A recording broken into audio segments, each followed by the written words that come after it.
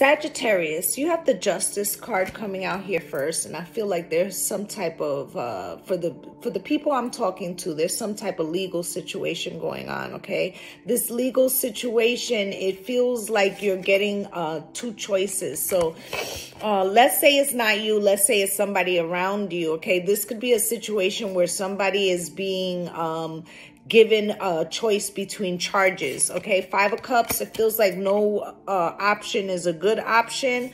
Okay you got the fool card here. There's something about uh, a new beginning but it feels risky. Okay so there's like risk attached to it and the chariot.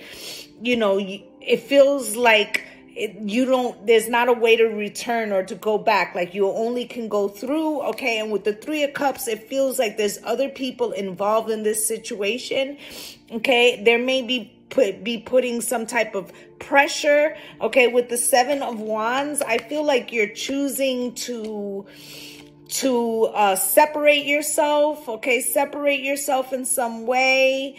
Um, with the four cups, it feels like you're going to pass on an option because uh, you feel like neither way would work out. So like, you know, I'm hearing snitches get stitches, right? But I feel like in this situation, um, it ends up being like you don't take a plea because that's what it feels like is a plea. And um, surprisingly enough, you get the victory. Okay. So um, yeah, that's what I got.